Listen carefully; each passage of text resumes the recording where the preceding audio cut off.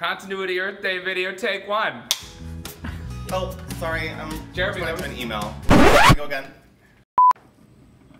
Continuity Earth Day video, take five.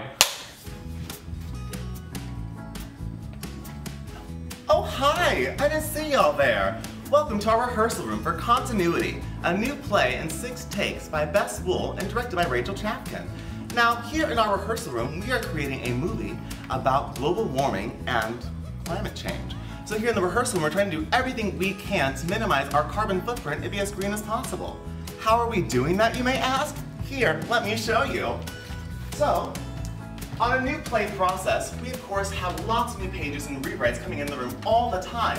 But instead of just throwing away those pages, we recycle them in our paper recycling. As well as plastic recycling. And also, we're gonna go one step further here at MTC. We are using no paper products when it comes to our coffee mugs and our hospitality.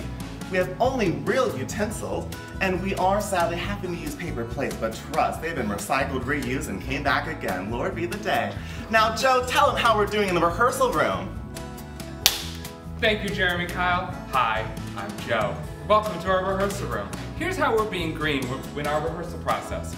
We have a lot of props in our show, especially plastic water bottles, but we're reusing them every single day by labeling them with spike tape, so we never have to throw away any unnecessary extra plastic. One of the other ways we're taking care of our room, let me show you how. Cut the video. We're also reusing our past schedules and our old pages by turning them into fake snow for our set.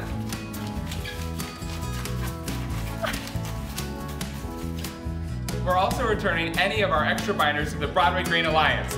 Back to you, Jeremy Kyle. Thank you so much, Joe, and thank all of y'all for coming and visiting us in our rehearsal room. But make sure you come back and see us at City Center, Stage 2, where we start previews May 8th and open May 21st. See y'all then.